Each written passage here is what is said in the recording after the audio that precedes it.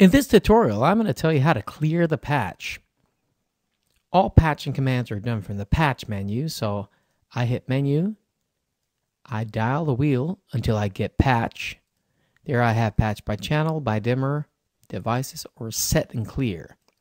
I choose set and clear, and I have the possibility of choosing clear intensity patch. This is what I want to do. So I hit yes, and I have to verify that with one more press. There we go. Right now, nothing is patched, so regardless of what fader I bring up, nothing will happen on stage. This concludes the Clear Patch tutorial.